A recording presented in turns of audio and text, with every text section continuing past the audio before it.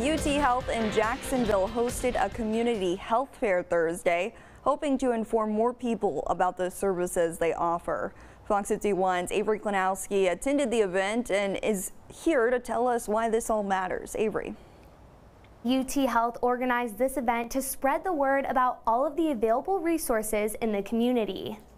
UT Health and the City of Jacksonville partnered up to expand their outreach through a free public event. Having this kind of multi-specialty uh, health fair allows people to really connect on multiple levels of their health care, whether it's moms, dads, grandparents, kids, pregnant, non-pregnant. They want people to know there's something for everyone, not just people who are sick or pregnant, but also people looking to learn more about nutrition, the health screenings they provide, or even getting routine vaccinations. Everybody's trying to do flu shot clinics now and to be able to provide that for them. More than 40 vendors were on site for locals to see, learn about, and ask any questions they might have about their health. All those little things just, I think, makes a big difference for people whose lives are otherwise busy and taken up. Aiming to make a difference. Allows folks to get an idea that we do have modern, up-to-date, cutting-edge orthopedic technology. Informing people about important appointments to schedule. We had an 82-year-old lady